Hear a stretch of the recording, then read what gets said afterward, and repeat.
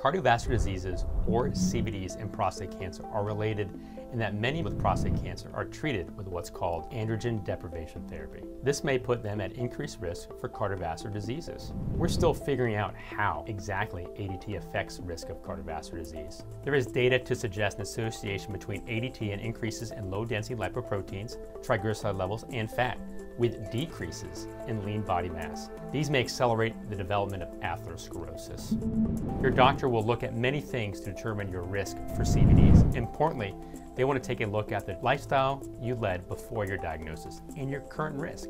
If you're a smoker, for instance, or don't get a lot of exercise, if you have a high body mass index or BMI, or high blood pressure, high cholesterol, or diabetes, these all increase your risk for CVDs. It's especially important to consider CVD risk when treating prostate cancer because non-cancer related deaths are the most common causes of mortality in prostate cancer.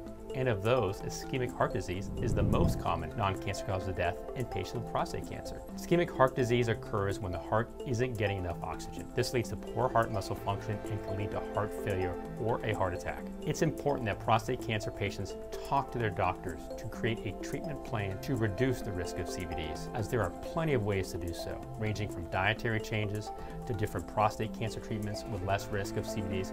Talk to your doctor, and together you can come up with a plan that works best for you.